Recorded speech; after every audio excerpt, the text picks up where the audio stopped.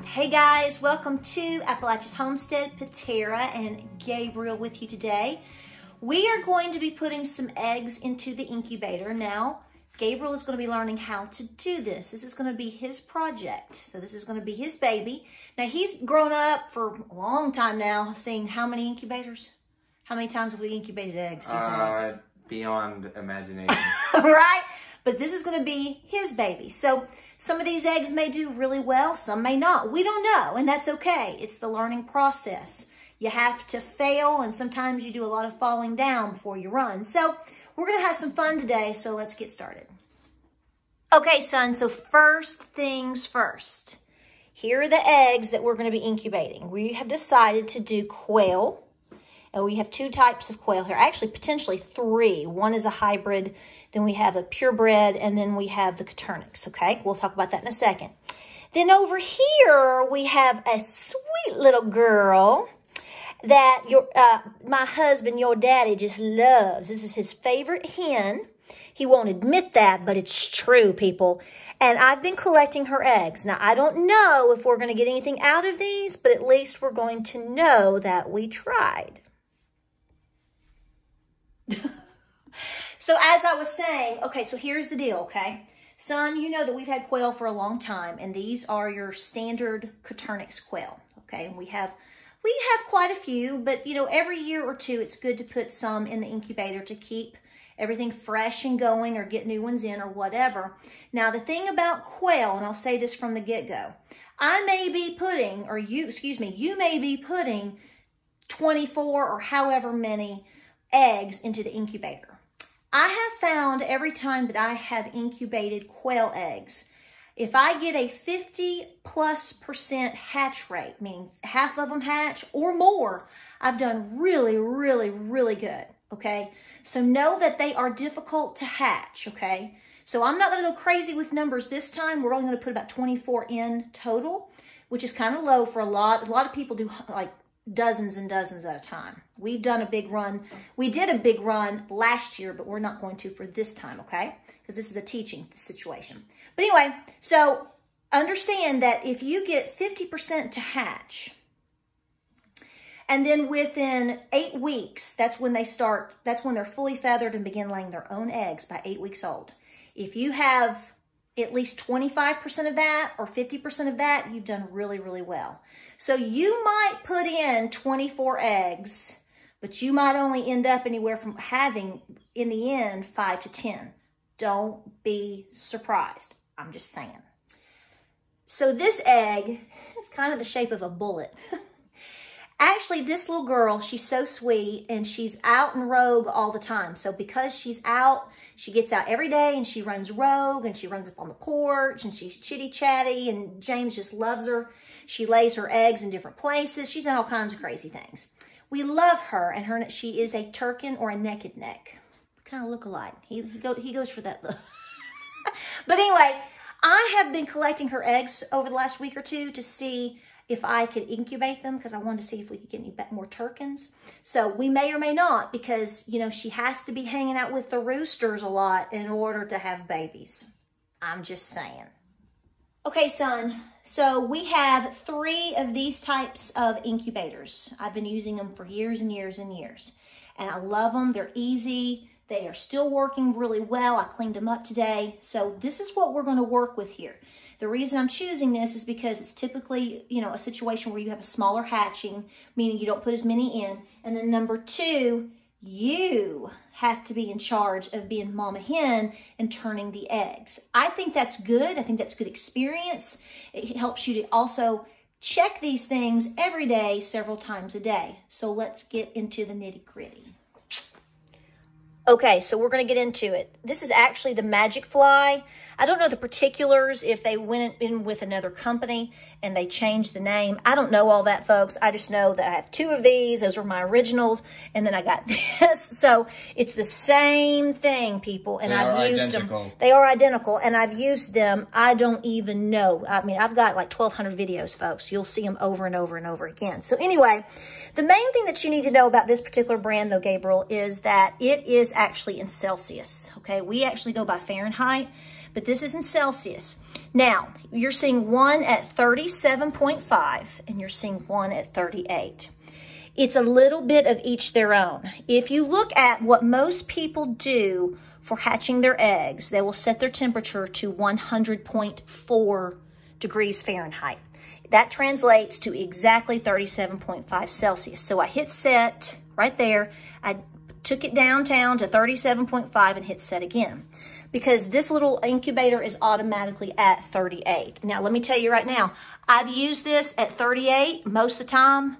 Hey, I didn't have a problem. In fact, I've had 100% hatch rates uh, several times out of these. So, you know, that's a little bit of each their own. So I think we'll do one at 37.5 just to play with it so you understand that. And then we'll just leave these at, thir- this one right here at 38. Now, let's get into the incubator. Now, right here in the incubator, you're going to see I've got a tray. It comes in three, this little piece comes in three parts. One, two, and then the top, okay? I've already put water in here.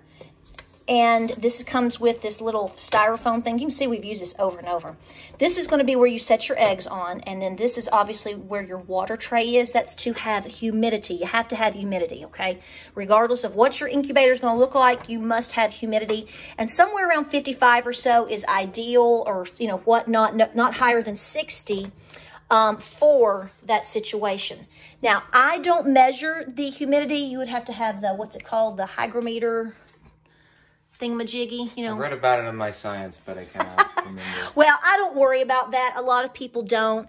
It's kind of like trial and error and and a lot of experience. So the main thing that I watch is the temperature. And every few days, I make sure that I fill up my little water tray, this main, this little main center right here. If it overflows a little bit over there, no big deal. Originally, they do come with a little grit, like a little graded little thing that comes on top. I've lost them since we've moved, but that's okay. We'll get by with that when that come when that comes around. So, all right. So we have put the water in. That's important because what we're doing is we're making sure that our incubators are on, stable and working, and they get to the ideal temperature that we want before we ever put the eggs in. Honey, it's a hygrometer. Mama is from East Tennessee. We don't, we're not fancy. We don't do hygrometer. We do hygrometer. Just, just, just go with it. Just go with it. Now that we got that out of the way, we can move on to real business. Okay. Now I mark my eggs, and that is to know, you'll see that once we mark the eggs, that we will know what we're dealing with in the incubator. I also mark my eggs if I if I can with all of my broody hens because what the deal is, it's all about turning the eggs. It's about knowing you turn the eggs, or it's about identifying the eggs when they're under the broody hen. And if you mark them, you're going to know you know which eggs you know you meant to be there because some girls get in there and lay extra eggs. So what I do is I take a Sharpie. Now, we don't go stone cold crazy here, okay? We just, we're simple, simple. And what I do is I mark one side with an X, do all of them that way, and then once it dries for a second, flip them over, and then I put an O. So one side's X and one side is O.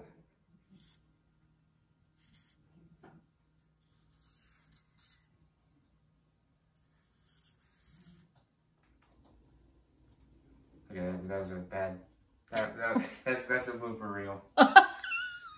Okie dokie artichoke. So you've marked the chicken eggs, the Turken, Miss Red. She's so pretty.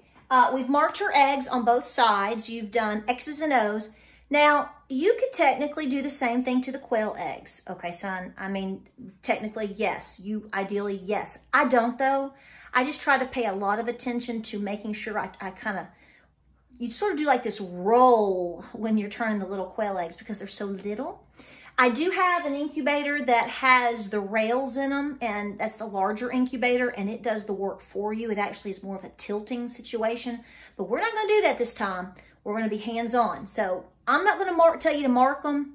I don't think it's necessary. Just know that when you're turning your eggs every day, I always tell everybody three times a day minimum. Morning sometime, afternoonish, lunchish time sometime, and then evening to bed.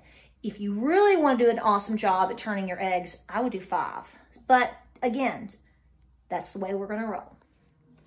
Okay, son, so we're going to take the lid off and you're going to bring uh, Miss Sassy Britches, you're going to bring her eggs over and put them in right here. We're going O's up. O's up. Now, here's the thing. You're putting them in, and I always like to put them the same way. So you've got the little point down this way, same side up. It just is nice to keep them consistent. Yeah, keep bringing them over here. Here's the thing. So we're putting our eggs in today. We're on day zero. I've had to really help folks with understanding this. You don't start turning your eggs today. You will start turning your eggs 24 hours later, roughly. So tomorrow, tomorrow afternoon, ideally, is when you're going to start turning your eggs and mark it as day one. Now, your chicken eggs are going to incubate all the way up to day 21. Repeat after me. What did I just say? They are going to rotate until day 21. No, that is not what I said. Oh. I said, listen, they are going to incubate. That's the incubation period. So Ideally, they will be in here until approximately day 21. That's when the hatch day is. Mm. Here's the kicker. You go into lockdown prior to that. What that is, is the final settling time for these eggs. And that's going to happen on day 18. Repeat after me. Day 18. What's day 18? That is lockdown. Ooh, I like it. You are learning today yeah, you got to kind of adjust them. This little um, incubator, they hold approximately 10 chicken eggs. Okay, so we've got them all in here. It's a little snug, 10 eggs, 10 chicken eggs. Okay, so we'll candle these on around day seven or so. That's when we'll start candling them to see if mm-hmm. there's life. And like I said before, when we go into lockdown period, which was what day again? Day 18. Day 18, you're doing good. We stop turning the eggs. We what we'll do is we'll come in for this particular one. We'll keep watering this continually as we go, but on day 18, you really want to put a lot of water in here um, because you want to raise the humidity, if possible, on the last days that you have right before hatching. Okie dokie. So we don't start turning until tomorrow, so this has just got to, they just got to sit here and cook. Well, not really. We don't, you know what I mean. You know what I mean. I'm not gonna stand like that. okay, uh, okay, Burt Reynolds. No, no, no, uh, don't put that in there. okay, listen. Don't put that in listen, listen, listen. So this one is is is you know fixing, ready to go. My question to you is: is do you want to do 38 or do you want to lower it down to 37.5 to be exact? You don't care. Okay, so I'm going to tell you what to do. We're going to do it because I want you to learn how to do it. So hit set. Okay, now hit the minus 37.5. Hit set again. All right.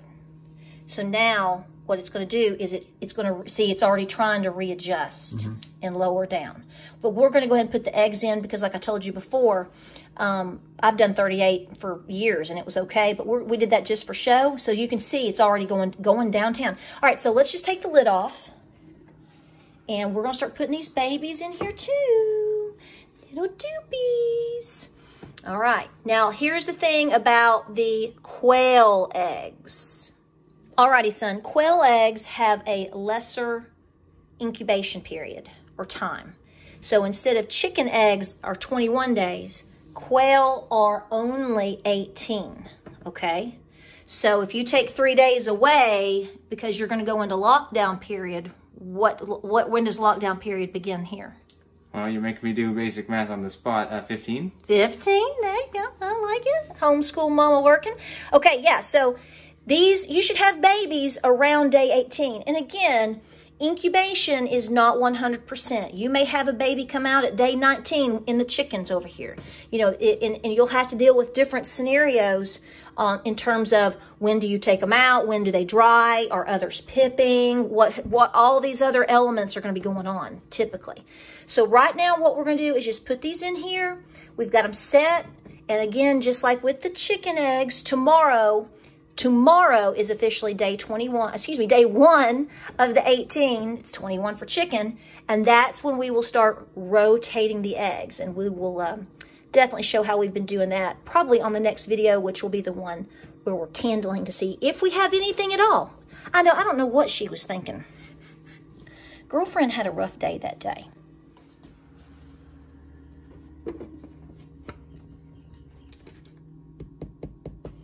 Okay, so here's what I'm going to do. I like to put my eggs in a spot where I'm constantly at or I see often to remember to turn them. I also like to make myself a, a, quick sticky note that says turn eggs. So this is my habit. I take a post-it note and like right here, I'm gonna say, put this little post-it note. So just put turn eggs. So every time you come in here to get some Doritos or whatever you're doing, you know, uh, did I turn the eggs today? It's a good reminder.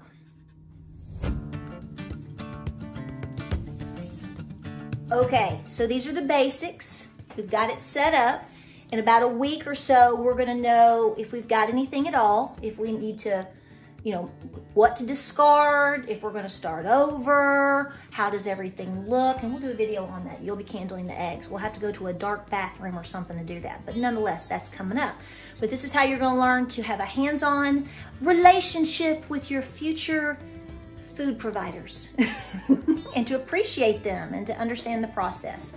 All right, guys, you good. Easy peasy, lemon squeezy. Now remember, what did I say? One more quiz. To, so today we put them in the incubator. So when do we start turning them? Uh, day one. When is day one? Day one is tomorrow. Oh. 24 hours. High five. That's my boy. All right, guys. Stay tuned for more videos. We have a lot more coming your way. You did good, kiddo. See you on the next video.